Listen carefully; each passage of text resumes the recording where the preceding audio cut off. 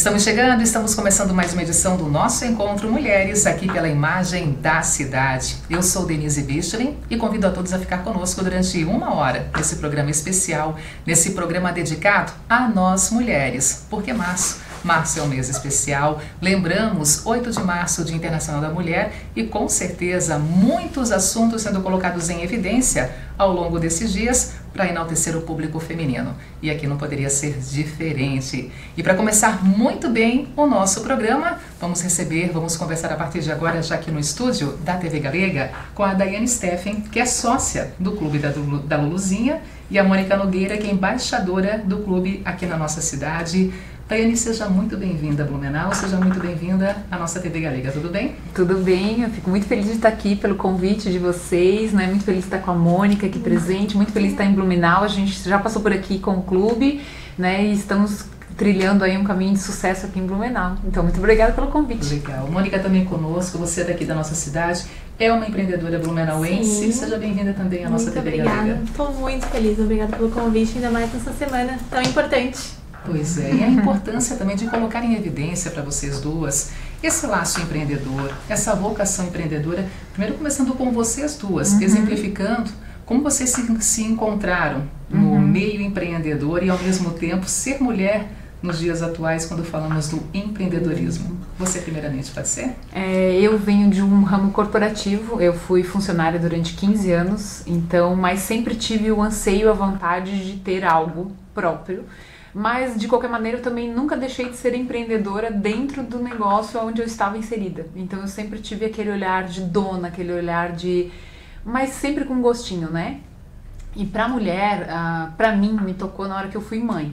Então, os horários, a permissão, a qualidade de vida, a independência. Então, isso pegou um pouco e foi a hora que eu tomei a decisão de que vamos empreender e aí a Paula, que não está aqui presente, né, porque está em viagem a trabalho pelo clube, é, decidimos montar uma sociedade, ela é minha prima, e aí nasce o clube, com essa bandeira, digamos assim, de colaborar com as mulheres que têm esse mesmo anseio e que muitas vezes se sentem sozinhas, porque esse patriarcado, a qual a gente chama, a qual as mulheres não foram inseridas, trouxe para nós uma coisa que talvez nós não teríamos tanta chance ou tanta oportunidade, porque a mulher tem uma outra atividade que às vezes é o ser mãe, é o ser cuidada e uma força de tem que dar certo, né? A gente não tem o direito de errar muitas vezes, né? E através do clube a gente vê que a gente consegue inspirar umas às outras, que a gente consegue dar mão, que a gente consegue dizer eu também tenho problema, eu também tenho dificuldade. Os homens fazem isso muito naturalmente é no futebol, é nos encontros à noite, isso já é algo incorporado. E para nós ainda é uma, um caminho que a gente está percorrendo aí, eu acredito que com certo sucesso, mas ainda desbravando alguns caminhos. Mônica, e o teu caminho sendo percorrido aqui na nossa cidade, essa tua veia empreendedora em Blumenau? Também venho do ramo corporativo e me vi tendo que sair desse ramo por conta da, da carreira do meu marido. Então, acabei abandonando a minha carreira na, na parte corporativa e senti uma necessidade natural de voltar, de fazer algo por mim como mulher. Eu senti essa, esse, esse anseio de, de voltar e fazer algo que eu gostasse. Então, empreender foi minha primeira vez empreendendo, nunca tinha feito nada parecido. E tá sendo incrível. O assim. teu rumo aqui na cidade, Mônica? Eu tenho uma esmalteria bar. É, o que foi pensado quando eu, eu peguei isso? É, por que, que os homens têm a barbearia? Tem esse momento deles de cuidado e de se distrair, de ter um happy hour, um relaxamento neste ambiente e a mulher não tem. Então, assim, hoje eu tenho uma esmalteria bar, que é um local que as mulheres podem ir com amigas, podem se arrumar, podem tomar um drink, um vinho e otimizar o tempo. Então foi, foi pensado muito nisso. Por que, os homens teriam e as mulheres não? Então hoje as mulheres de Blumenau têm a Glamour, que é uma esmalteria bar. O Daiane, uma ideia como essa, promissora, diferente, ao mesmo tempo instiga, instiga uhum. até a vontade de conhecer o empreendimento, Com né? certeza. é o que nos brilha, o que brilha os olhos, né? Então a gente acredita nas mulheres que tenham essa iniciativa de se arriscar. O empreender, ele não é uma certeza nunca, né? Ele é uma luta diária. E aí é a grande diferença, né? Quando eu lia sobre empreender e que ainda não empreendia, que eu via os clichês de ter resiliência, acreditar realmente no negócio, a gente tem isso no dia a dia, porque ele é uma montanha russa de muitas variáveis, né? De tu conquistar as pessoas, de tu conscientizar pelo teu projeto, um projeto diferente, uma esmalteria bar. Tu tem que conscientizar, tu tem que mostrar para a mulher que ela pode, tu tem uma parte toda de conscientização. O clube não é diferente. Quando a gente realiza um workshop em uma cidade a qual a gente nunca foi, eu tenho testemunho de muitas mulheres que dizem para mim: fazia anos que eu não saía mais sozinha. Fazia anos que eu não fazia que eu não fazia um cabelo e me divertia sozinha, ou é com o marido, ou com os filhos. Não é um problema. Eu sou casada, eu sou, mas é aquele momentinho que a mulher não se permite. Elas nem param para pensar que elas podem fazer isso. Ela não tem mais aquela saída com as amigas, aquela conversa trivial e nem que seja para fazer um network de qualidade, que é o, clube, o que o clube se propõe.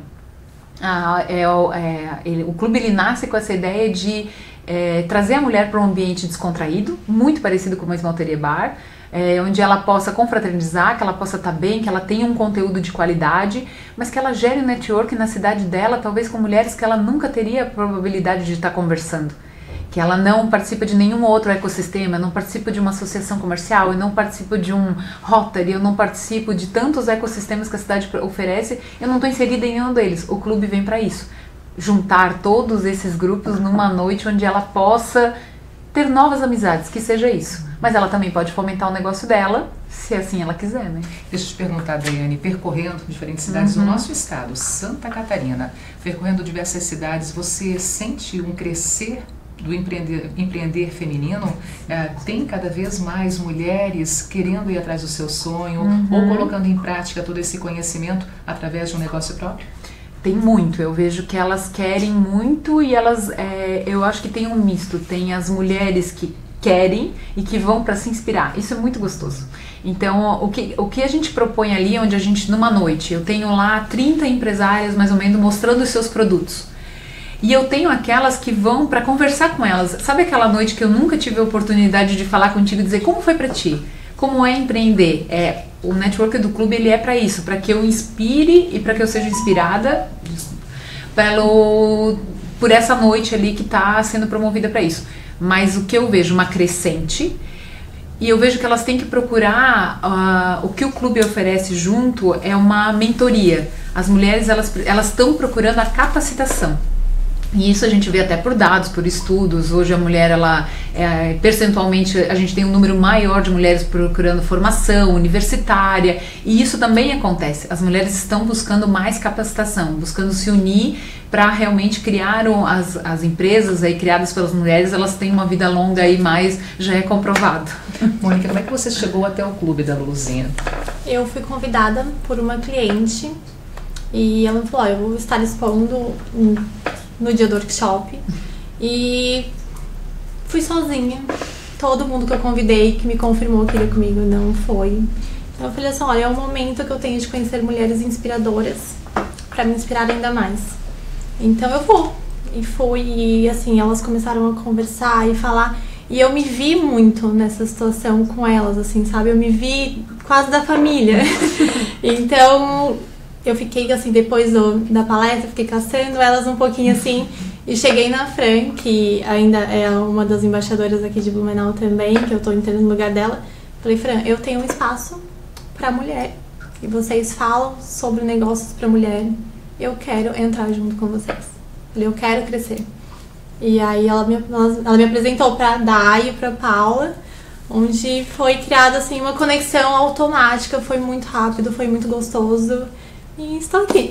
E agora sendo embaixadora do clube em Blumenau, quais são as suas responsabilidades? Primeiro ouvindo de você e depois querendo confirmar com a Dai se é realmente isso. É, o clube vem para alavancar mulheres. Então, assim, hoje eu entendo que mulheres unidas elas chegam, elas vão muito mais longe. Então, eu venho para ajudar essas mulheres a chegar longe também, sabe? Do, da mesma forma que eu tive meu sonho, que eu tô conquistando tudo isso que eu tenho hoje, que elas também podem. Todo mundo pode. Toda mulher tem essa força para conseguir. Então é só basta querer e a gente tá aqui para ajudar também. É isso? Ela entendeu a lição de casa. o treinamento foi bom. Mas eu acho que esse olhar corporativo que a gente traz é, é o, talvez a, a parte interessante do que a gente pode entregar. Então, nas mentorias, nas consultorias ou nos pré-treinamentos antes de um workshop que a gente realiza com as empresas, às vezes o óbvio para mim não é tão óbvio assim e ali no negócio o que que a, o que que a Mônica faz no negócio dela que eu não faço no meu que tu faz no teu essa troca é a parte mais valiosa que eu acredito no clube. Então, todos esses encontros que a gente fomenta e onde a gente pode se inspirar e realmente entregar um network de qualidade, que sugere resultados para ela. Mas, de novo, a gente está falando de uma mulher que está buscando o seu espaço, que está buscando empoderamento, que está tão falado, que está buscando. Mas a gente falava um pouquinho antes da entrevista ainda, né? Mas a gente também quer dar assim vamos devagar. É o que a gente tenta levar para elas, porque hoje a cobrança da mulher também, por um outro lado, é muito forte. Então a gente, o clube ele tenta levar para que tu quer empreender, vamos lá. Não, eu quero, eu quero melhorar na empresa onde eu trabalho. O clube tá também. Não, eu quero ter uma noite de lazer porque hoje eu sou mãe, mas eu quero estar tá atenta ao que está acontecendo no mercado.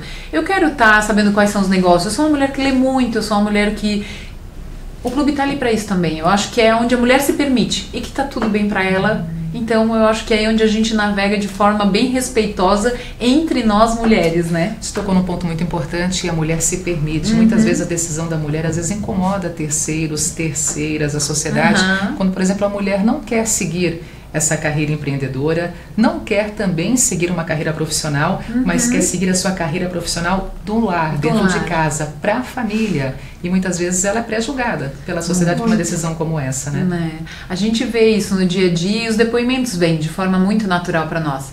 Porque uh, eu lembro que até num café de negócio que a gente teve, é, eu acompanho uma, uma pessoa que está nessa dúvida: saio de ser funcionária para empreender. E ela diz assim: não, eu não vou me permitir isso agora. Meus filhos são pequenos e eu decidi porque empreender não é tão cor-de-rosa assim. E de fato, não é. Assim como a própria maternidade, né? A gente não pode, para quem é mãe sabe que não é o tempo todo cor-de-rosa. Há um divisor ali, né? Entre tu ser mãe, tu ser mulher, tu ser empresária, tu ser filha, tu ser nora. A gente tem vários papéis ali, né? E se bem equilibrados, todos são ótimos. Eu acho que o nosso desafio aqui enquanto mulher é saber equilibrar e saber usar os seus momentos de forma disciplinada. Mas eu acho que a famosa palavra que está em alta, né, a famosa sororidade, né, ela tá nesse respeito da mulher que olha para mim e diz assim, eu não quero empreender, eu quero, eu também não quero trabalhar nesse período da minha vida, eu tenho uma condição de ser do lar nesse momento, tá tudo bem. É uma decisão eu acho que é até uma das decisões né? mais corajosas, é porque ela não está seguindo, né, é muito o padrão da o padrão, né? Eu lembro que eu mesma, no, quando eu trabalhei 15 anos no ramo corporativo, obtive um certo sucesso, então a gente vai. A maior cobrança era, mas tu não vai procurar emprego? Eu disse, não, eu vou tentar empreender. Era uma assim, tipo, tu tem que saber que é, a, é o que. De fato, tu tem que acreditar nisso. Então já é, é a primeira grande lição. Assim como se eu decidisse não trabalhar, tu tem que acreditar nisso. Porque eu acho que não é nem uma, uma maldade das pessoas. É a pergunta óbvia: se tu tem um filho, quando vai ser o segundo filho? Uhum. Se tu tá empregada, por que tu não foi promovida? Se tu tá empreendendo, tu tá tendo dinheiro, tu tá tendo resultado? É uma pergunta tão natural. E se tá em casa, porque não faz nada. Por que, que não faz nada? Nossa, Na verdade, se, e se não faz nada, a gente trabalha no final de semana, né?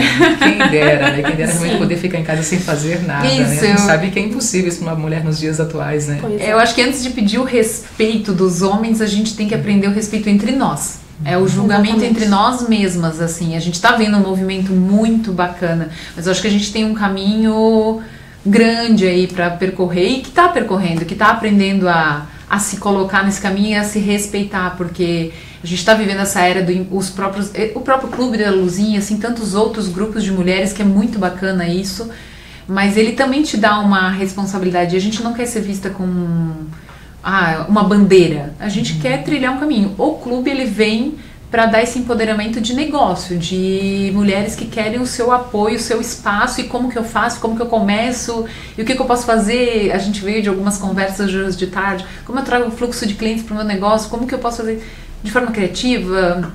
E tem várias estratégias por trás disso. O ramo corporativo nos traz essa possibilidade de poder estar tá entregando um auxílio para essas mulheres mas tudo no seu tempo e tudo na medida que elas também queiram. Não é uma imposição, tem que ser algo orgânico, como está dito. Mônica, quer complementar a fala da Daiane? Assino embaixo. e é isso, acho que empreender hoje não é tão fácil, mas é tem que fazer com paixão. Acho que tudo que a gente faz com paixão, com muito amor, dá certo. E diferente, né? Mulheres inspiradoras. Uhum. Por exemplo, no Clube da Luluzinha, percorrendo várias cidades, vários estados, Uhum. já que a tua sócia está nesse momento em Em Aracaju, Aracaju. levando também essa ideia, já trazendo na bagagem muitas, Muitas ideias, experiências. muitas experiências. Mulheres ins- inspiradoras. Uhum. Dá pra gente, de repente, pontuar aqui algumas delas para poder colocar em evidência nessa conversa aqui da TV Galega? É, Eu vou, é, aqui eu vou arrumar um problema né? Porque eu tenho muitas, né? É, mas a gente, assim, vou citar lá do nosso comecinho. Eu acho que quando o clube começou, é aquele começo de empresa para todo mundo. Não sou ninguém, não tenho uma marca, tenho uma ideia. Não fiz nada ainda, não vendi nenhum produto. E assim a gente foi a campo. A gente começou o nosso primeiro evento em Rio do Sul, que é a cidade onde eu moro. E aí a gente buscou como estratégia, vamos procurar as melhores empresas da cidade de mulheres. E se a gente levar um não, a gente já tem um não. Para nossa felicidade, a gente teve uma, um carinho de mulheres muito estabelecidas, como a Adriana, que é uma médica de Rio do Sul, da Atene, a Márcia, que é outra empreendedora da cidade, da Dom Vitale, e é, que, né, que são de clínicas estéticas, que tem spa, que, né, e ali elas nos abraçaram, empresárias já conceituadas na cidade, e sabe quando a pessoa te dá a mão e diz, vem, a gente vai te apoiar? Aquilo é comovente de falar, porque isso é até hoje. Então, onde, eu tô, onde a gente está, ela, basta um telefonema. Sabe o que é tu sentar na frente delas, elas ficarem horas e passando a mão no telefone e ligando para mil contatos que tem para poder nos ajudar e a gente tinha uma ideia. A gente estava levando para lá o primeiro work do clube. E isso é de uma maneira assim que a gente fica assim extremamente comovida. A gente tem as próprias embaixadoras que acreditam no, no potencial do clube, que querem levar isso para suas cidades. E aí eu posso citar todas elas, né? É, de igual forma. Então, quando a gente traz esse movimento, quando hoje de tarde a gente é chamado para um, um evento do um, o Neumarket, nos chama para uma conversa onde eles querem o Clube da Luluzinha dentro de um shopping, é muito interessante isso. Então, eu não poderia estar citando todas aqui porque eu vou comprar uma briga com muita gente, né? Mas, assim, eu acho que ali realmente, de novo, eu trago a palavra sororidade. Sororidade é isso, ela tá muito na moda, mas quando realmente tu. E é isso que a gente quer passar. Quando eu tenho uma pessoa iniciante que quer abrir um negócio, eu poder dar a mão para ela e dizer: não, vamos, o caminho é esse. Claro que é uma troca, né? 50% teu, 50% meu, né? Mas isso vai. Geralmente, quais são as primeiras dúvidas ou as maiores dúvidas de quem está começando Uhum. essa caminhada do empreender? Eu acho que é muito definir o teu público. Eu acho que aí é uma. Talvez eu não sei nem se é a dúvida. É, isso eu acho que é até a falta do esclarecimento, porque eu quero vender, mas eu quero vender. Mas eu acho que o vender, ele é. O tudo para todo mundo, ele é nada, né? Então eu acho que o primeiro grande quesito é assim: eu vou vender, mas para quem eu vou vender? E aí o marketing não é o que eu quero vender, e sim o mercado está disposto a comprar. Eu posso criar uma demanda? Posso. Até nem muito tempo atrás a gente não tinha uma necessidade por celular. Mas hoje a gente não vive sem. Então como que nossos pais viviam, né? A gente se pergunta isso. Ou se, se criou uma necessidade. Mas eu acho que hoje existe um, ah, uma questão em volta do eu quero vender isso, mas o mercado está pronto para quem tu quer vender? Ah, eu quero vender para uma mulher de 30, 40 anos que tem um poder aquisitivo X. Onde que essa mulher frequenta? O que que ela faz? Onde que ela tá? Onde que eu busco ela? Porque às vezes a pergunta que mais vem para nós como mentoria e consultoria é assim: como que eu faço para vender mais? Essa é, é unânime. Toda conversa começa assim: eu preciso vender mais. Mas tu olhou para tua carteira de clientes? Para quem tu vende atualmente? Quem? Porque assim, foi a conversa que eu tive exatamente ontem numa mentoria. Mas qual é o cuidado que tu tá fazendo para fidelizar? Porque fidelizar, tu já tens uma carteira, tu tá iniciando, mas tu já vendeu alguma coisa, tu tá fidelizando. O que que tu tá fazendo para fidelizar quem tu já tem? Porque a gente olha muito para frente, né? Eu quero e não olha para quem tu já conquistou. Então eu tenho que manter isso, mas eu também tenho que prospectar. Mas às vezes a gente prospecta olhando o universo como um todo. Mas não, vamos fazer focado, onde que elas frequentam e de forma muito criativa Se torna mais claro. se torna mais, claro. seguro. Tu vai mais focado, tu sabe onde que as pessoas frequentam, tu sabe onde que tu tem que buscar. É o teu funil de vendas.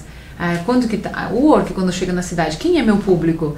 Eu, a gente foi para Chapecó sem conhecer uma pessoa em Chapecó. A gente botou 200 mulheres dentro de um hotel, mas tudo parte de uma estratégia. Quem que eu quero buscar, qual é a qualidade do público que eu quero estar lá, quem as mulheres que eu tenho, onde estão essas mulheres empreendedoras, o que, que elas frequentam, onde que elas estão, quem que eu vou buscar, quem que são as formadoras de opinião de Chapecó, e aí eu vou trazendo, porque elas também me ajudam a trazer público. Então é, é toda uma estratégia que a gente vai para entender, e aí é uma esmalteria bar, uma TV, é atrás do seu público, é um shopping no e-marketing, toda ela vai ter uma estratégia diferente. A gente tem que entender qual é o público que eles querem buscar. E não existe público certo, não existe público errado. É a loja de 1,99 que muitas vezes pode faturar muito mais do que uma boutique. Uhum. Porque ela tem uma estratégia bem focada. Mônica, quais foram as suas estratégias no início? Toda, todo o conteúdo que você buscou, a informação que você foi atrás para poder consolidar o teu empreendimento aqui na cidade? Eu me inspirei muito em mulheres que hoje não tem essa, essa flexibilidade de ser mãe, de ser esposa, ser profissional. Então, meu público é esse. Por que não unir tudo no mesmo lugar? Eu posso ter uma noite muito agradável, posso estar fazendo a unha com minhas amigas, a gente já tem aquela, aquele encontro semanal, a gente toma um vinho, conversa um pouquinho e já sai de lá pronta. Então, assim, o meu já foco... Já conheci um espaço como esse em outros locais? Em São Paulo. Em São Paulo. Em São Paulo, é uma esmalteria bem forte e e essa foi a minha, minha inspiração, assim, de ver até amigas que às vezes eu convidava e falava, ah, eu não posso porque hoje eu preciso cuidar do meu filho, ou hoje ah, eu vou ser um pouco mais tarde do trabalho, então assim, ah, não, hoje eu não consigo e tal. Então assim, por que não unir tudo, tudo num único espaço? Então você consegue otimizar o teu tempo, otimizar o tempo da mulher que não hoje é muito escasso, porque a gente tem que fazer mil coisas. Então por que não otimizar isso numa noite? Porque a mulher pode. Então assim, ela, ela precisa desse momento. A gente não pode abrir mão de tudo, assim, da, do nosso bem-estar. Então... Acho que como mentoria, como, como mentoria, eu complementaria dizendo, toda vez tu tem que pensar que dor que tu tá resolvendo. Então, assim, é, eu construo um negócio em as mulheres precisavam de network, precisavam saber como gerir seus negócios, a gente criou o clube. As mulheres precisam otimizar seu tempo. Ah, eu preciso ao mesmo tempo fazer minha unha, eu quero curtir um happy hour, eu quero várias coisas. Uma esmalteria bar. Ah, então tudo é diante de uma como resolver um problema. Ah, então aí pode nascer uma grande ideia a partir disso. Como resolver um problema, como curar a dor de como alguém. Como curar a dor de alguém. Mas aí também como curar a nossa dor. Porque assim vai ter momentos São de muitas. frustração, a gente vai ter momentos muitas. de desistência, ou pelo menos pensar na desistência, porque nem todos os dias serão bons, bons. dias para é trabalhar é realmente com o próprio negócio. Como é que vocês trabalham também esse momento da frustração nesse campo empreendedor para o público feminino? Olha, no nosso caso, eu vou falar de um depoimento muito genuíno nosso, assim, e é porque durante um ano fomos só eu e a Paula, duas sócias. E a gente acompanhava muito empreendedoras é, individuais, né? E aí a gente falava uma para outra, se nós estivéssemos sozinhas, eu acho que nós não estaríamos mais. Porque assim, é no momento que tu tá mal, é onde ela te. Não, mas vamos. E no dia que eu tô, eu também digo, não, vamos, nós vamos ter uma isso se complementa. Eu acho que a sociedade, assim, ela é, claro, como tudo, até mesmo como um casamento, tem os dias que. Mas o respeito ele tem que ser o que impera ali no momento, né? Uh, eu acho que. E a gente falava muito assim: o dia que vierem as nossas embaixadoras, as nossas licenciadas, isso só aumenta, porque a gente vai conseguir com que o time ajude, talvez naquela cidade onde ela não está conseguindo resolver uma situação, os bons cases das outras cidades vão complementar Blumenau, assim como Blumenau vai, com, vai complementar Chapecó, que vai complementar Floripa, que teve uma ideia. Então isso anima, né? Porque nem todos os dias são bons. Mas eu acho que talvez se eu fosse uma empreendedora hoje única, assim, que eu não tivesse com quem dividir aquele dia não tão bom, pode isso não precisa necessariamente ser uma, uma sociedade, mas pode ser aquele teu braço direito que tu tem na tua empresa, quem tu é uma confidência. Isso eu acho que a mulher precisa, o homem também, claro, mas a mulher ela tem essa coisa da troca, né? A gente fala lá quase 3 mil palavras a mais que o homem por dia, né? Não é por acaso. Não é por acaso, né? Coitada deles quando chegam em casa, a gente ainda tem 3 mil palavras pra falar, né?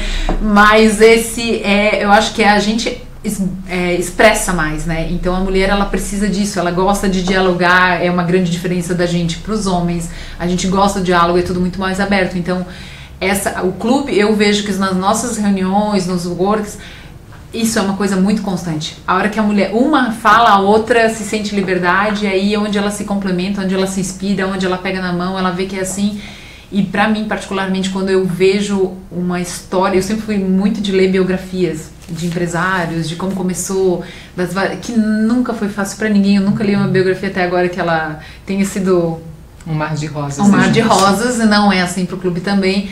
E a palavra que está em alta hoje, que é o tal pivotar, é isso mesmo. A gente tem que é, colocar a ideia para campo, é, esquecer um pouco do perfeccionismo para ver a coisa acontecer de fato ciente de que não vá. Eu sou uma pessoa extremamente perfeccionista e eu estou aprendendo com o empreendedorismo que a gente tem que. A frustração ela vem sim, a ideia que tu no papel ela estava maravilhosa, no campo ela não é tão linda assim, mas ela melhora.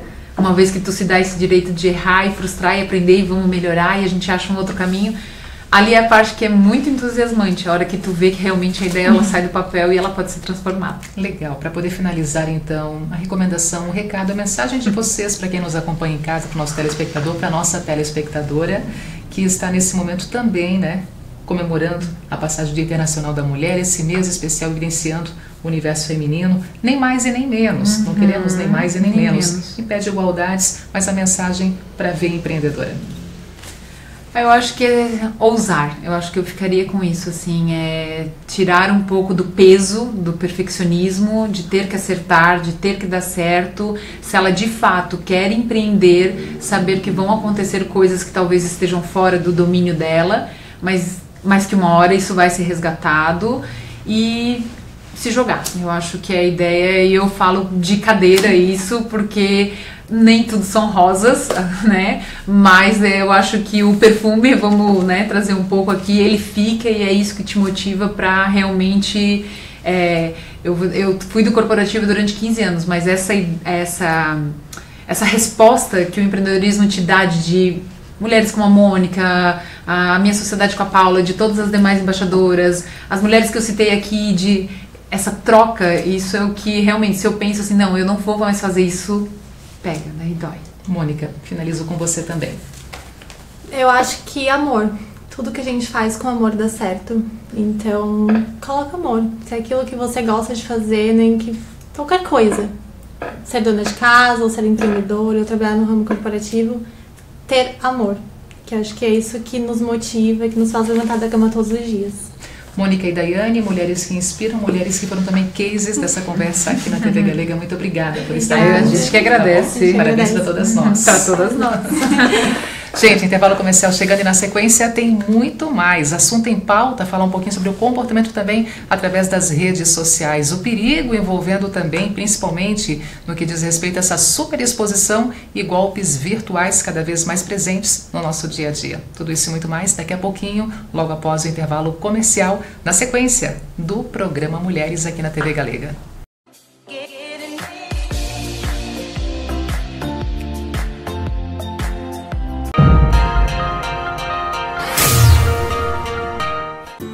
Centro de Depilação e Holanda, onde a vaidade predomina desde 1975. Depilações com banda, TNT e a técnica egípcia fio a fio. Com e sem hora marcada. Centro de Depilação e Holanda também oferece esfoliações, removendo células mortas. E com a proximidade do verão, deixamos sua pele pronta para receber um novo bronzeado.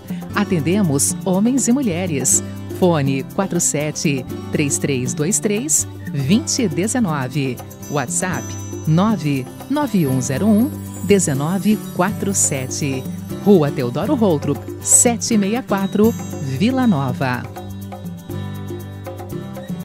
Você está precisando comprar um novo óculos de grau? Não deixe de passar na Look Óptica. Com uma nova loja ampla e moderna, temos os melhores preços da região. E ainda comprando lentes, a armação sai de graça. Venha conhecer e se surpreender com um novo conceito em óptica. O endereço continua o mesmo, na rua 15 de novembro, 963, pertinho da Catedral. Telefone 3041 9713.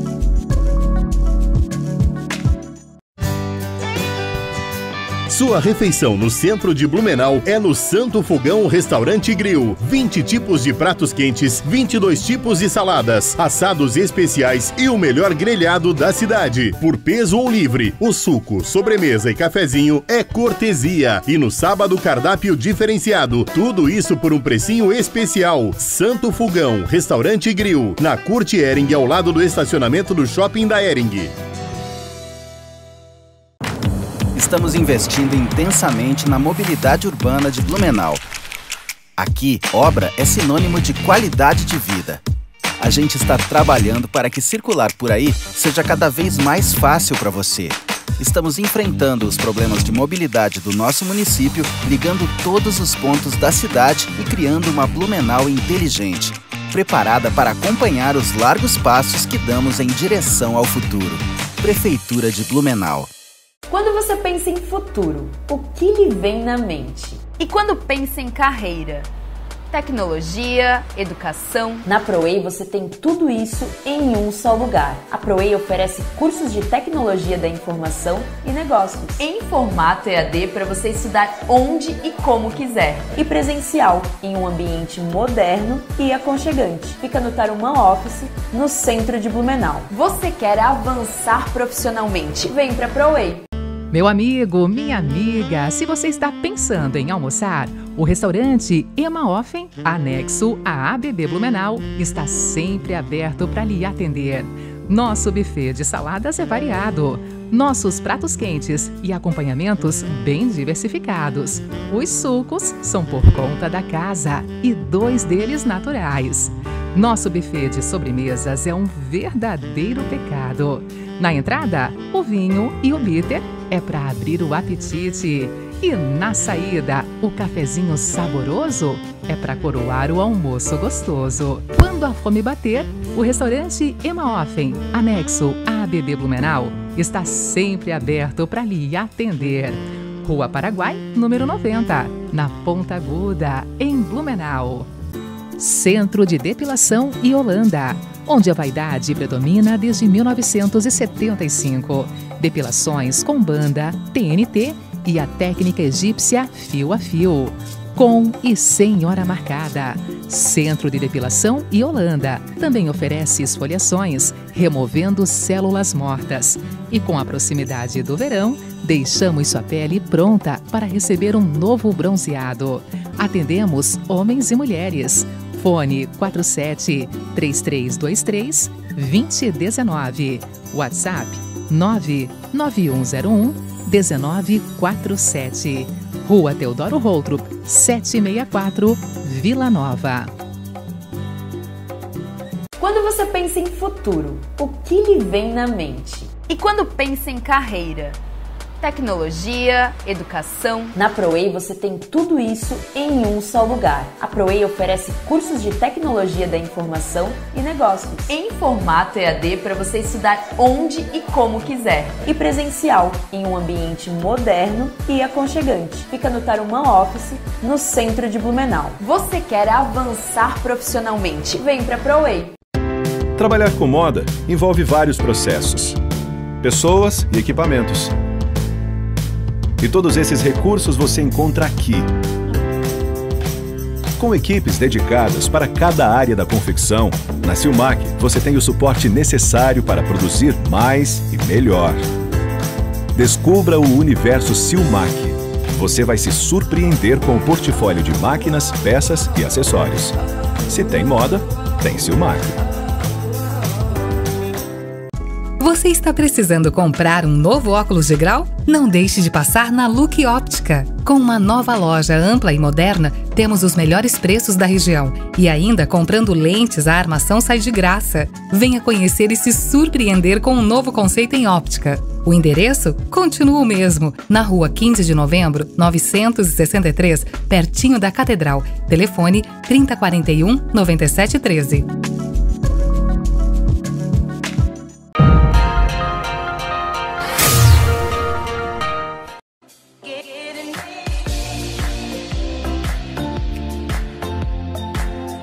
Estamos de volta dando sequência ao nosso encontro Mulheres aqui na Imagem da Cidade, a nossa TV Galega. Antes de anunciar o nosso próximo convidado, deixar aqui registrado aniversariantes da semana e entre eles a minha rainha, o meu amor maior, a minha mãe querida, a dona Maria Franzenbistelin, soprando velhinhas. Então, parabéns, mãezinha. Muito obrigada por tanto amor, por tanta educação e por tanta construção de valores na nossa família, tá? Beijo no teu coração, em nome do paizão, o Braulo, em nome das filhas, eu, Andréia, Júlia, do filhote, o Gustavo, e claro, dos netos também dos genros, da nora e ainda agora a mamãe Maria, a vovó Maria, se tornando a Bisa Maria, através do laço, através da união do Vitor e da Dija, que estão esperando um bebezinho lindo que vai chegar no mês de julho, e a vovó Maria agora se tornando a Bisa Maria. Mais responsabilidade, tá bom? Beijo no coração, felicidades e muitos aninhos de vida.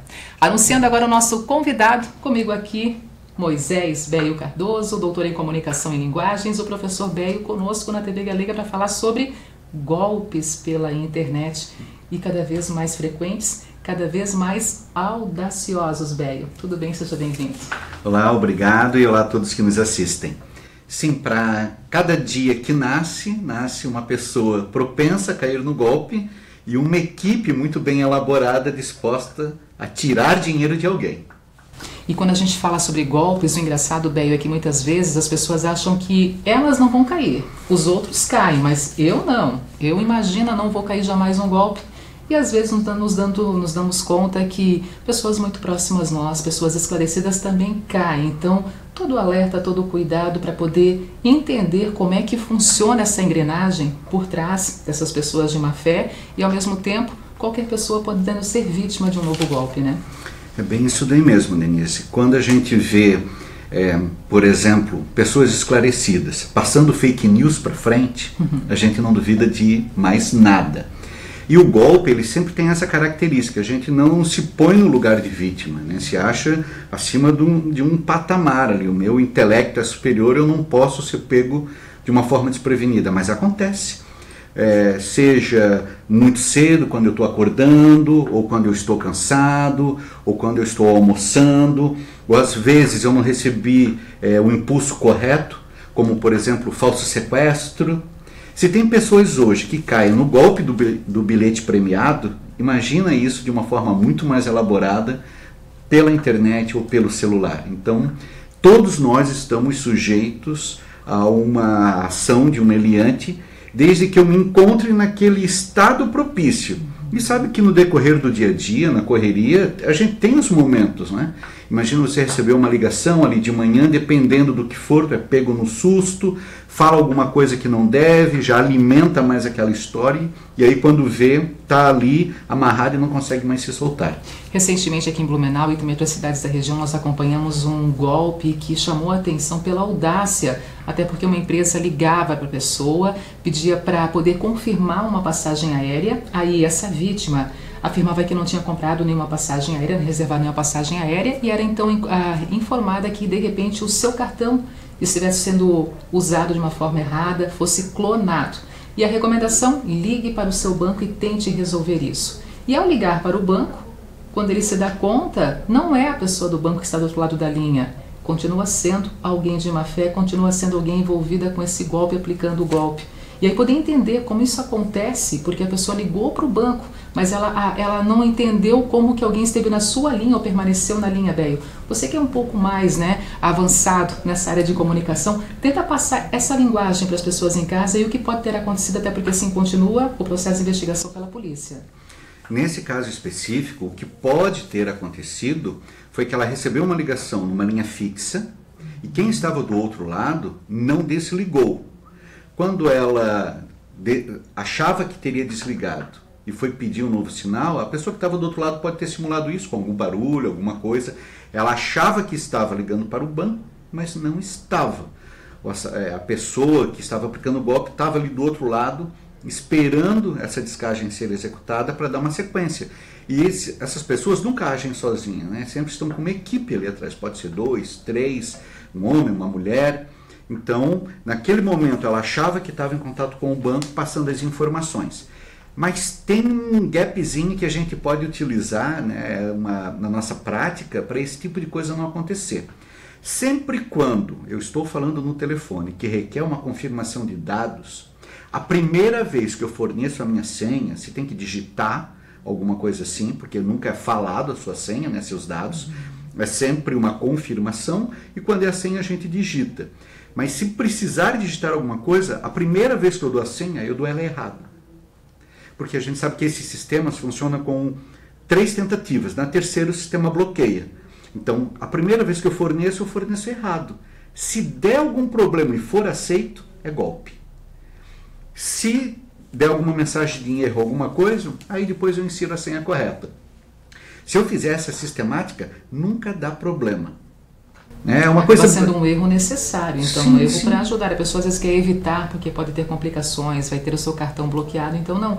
É um erro recomendado no primeiro momento. Justamente. E quer ver uma outra modalidade também? Às vezes, quando a gente precisa inserir, fazer uma compra online inserir os dados do cartão é, na plataforma.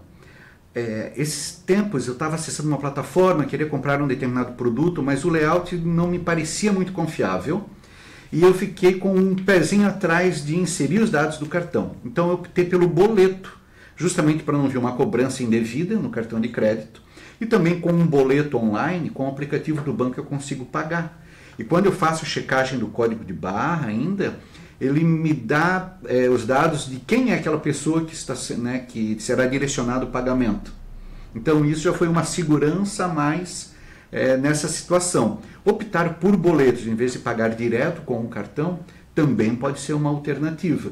Porque muitas vezes a gente está ali digitando os dados, entrega todas as informações, tem uma problemática de cobrança indevida, você contratou o serviço por um mês e depois ele se torna recorrente.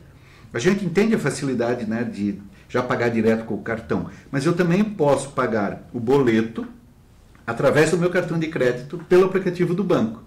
Dá um pouquinho mais de trabalho, mas é uma segurança mais que a gente tem é, no mundo cada vez mais conectado, em que os bandidos estão inseridos neles, procurando um, uma falha da nossa é, nosso dia a dia para conseguir obter algum lucro. É, com certeza passam às vezes o dia, passam semanas é, é tentando, né, encontrar esse momento certo para poder aplicar o golpe. Alguns caem, muitos não caem, mas aqueles que caem, com certeza a dor de cabeça ela se estende por muito tempo, né, Bélio?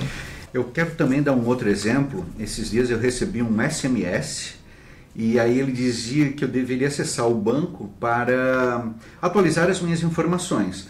Eu já vi que era a mensagem veio de um número de celular do estado de São Paulo. O link era um, era um, não era um link tradicional, era um link, um encurtador de link, ou seja, ele estava mascarando alguma coisa para onde eu deveria ir. E eu não dei bola para aquilo. Mas vamos levar em consideração que o envio de SMS é gratuito certo? Imagine alguém mal intencionado digitando uma sequência de números aleatórios, ele pode enviar SMS o dia todo. Se uma pessoa cair no golpe, ele já está no lucro. Então, dependendo é, da motivação da pessoa e do canal que ela está utilizando, em algum momento aquela pessoa vai cair no golpe. Né? Basta cair um número pequeno e já valeu. Cada vez mais estamos conectados e o uso do WhatsApp ele acontece no início do dia, no final do dia, dormimos e acordamos pensando ou mexendo no WhatsApp. E aí vem também a informação do WhatsApp clonado. Que situação é essa? Essa clonagem do WhatsApp, ela funciona quando eu não tenho é, a parte de segurança ativada em duas etapas. O que, que é isso? Quando eu estou usando o WhatsApp no celular e no desktop, de tempos em tempo o WhatsApp ele manda uma confirmação de senha para saber se é você mesmo que está operando nas duas. Então, muitos usuários tiram essa segurança em duas etapas. E aí a, a gente tem uma abertura para golpes. Quando é, uma pessoa vai adicionar o um número do WhatsApp num outro aparelho, o WhatsApp manda um SMS para o seu aparelho de confirmação. É como, ele, é como se ele falasse assim: Oi, é você mesmo que está instalando o WhatsApp num outro aparelho? Se for você, essa é a sequência alfanumérica.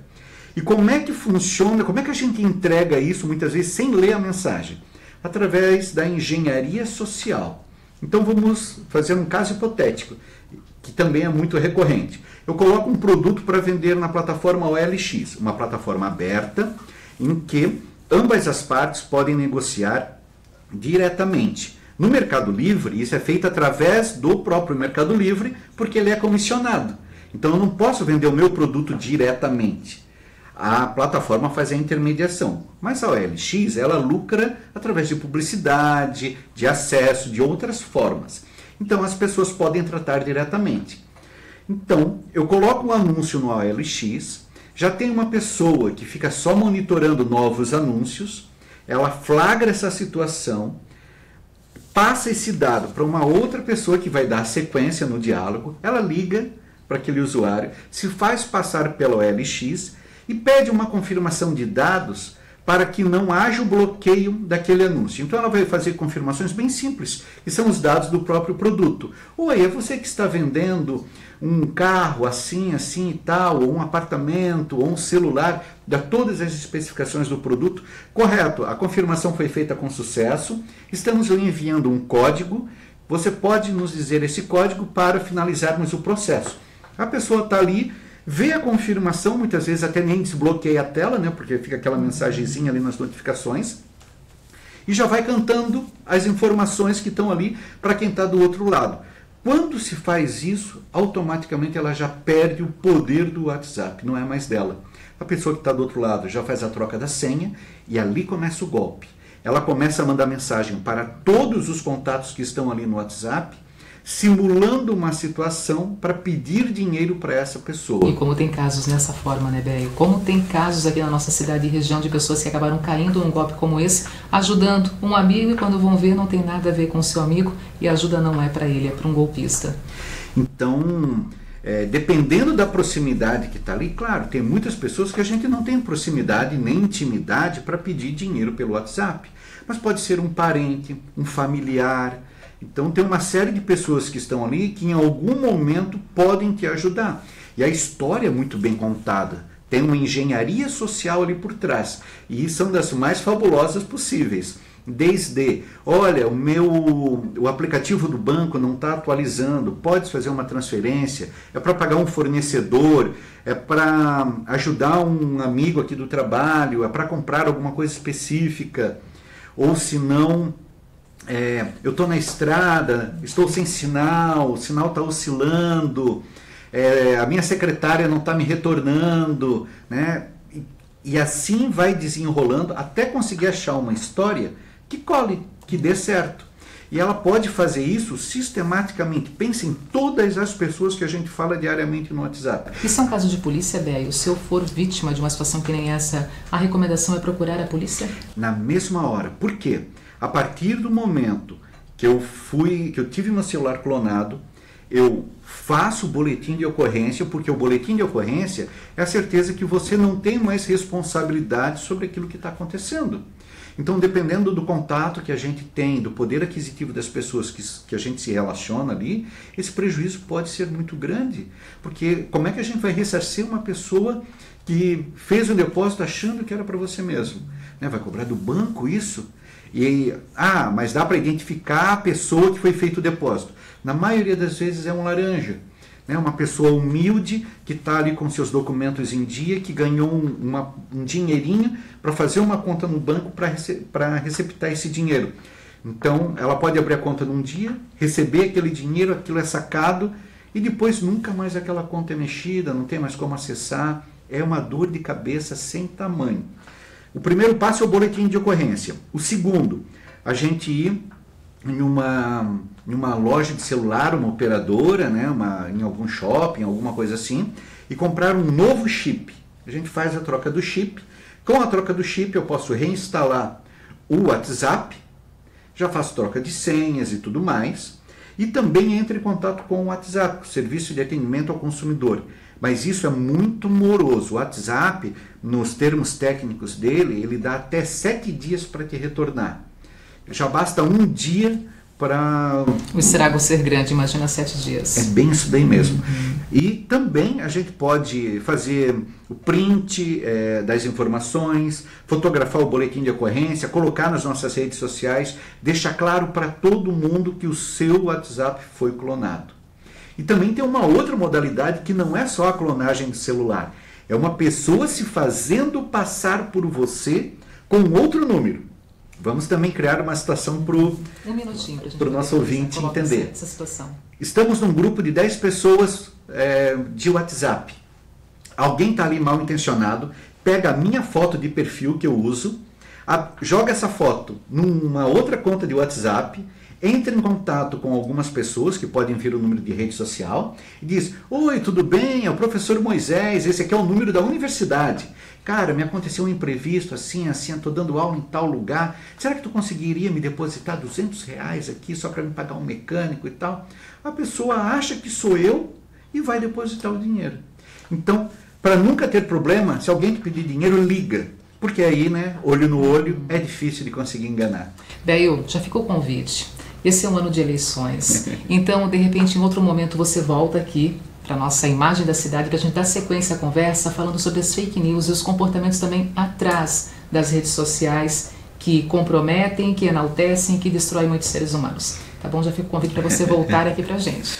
Convite aceito e agradeço desde já a oportunidade. Que bom. Muito bem, estamos terminando mais um encontro aqui na Imagem da Cidade. Agradecendo muito você que esteve aí do outro lado, nos acompanhando, nos recebendo. Parabenizando também a todas nós mulheres pela passagem do Dia Internacional da Mulher, 8 de março. E por falar em mulher, tem também um recadinho, tem um encontro bem bacana na dona Iolanda, no Centro de Depilação Iolanda. Vai ser um bate-papo para você, mulher, se conectar com você mesma. E esse bate-papo vai contar com a presença da Juliana Matias, que é coach. Ela vai estar com você então no dia 11 de março, às 7 horas da noite. Aonde?